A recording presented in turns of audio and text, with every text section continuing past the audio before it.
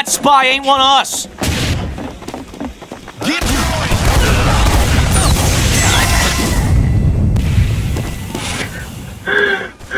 Teleporter coming right up.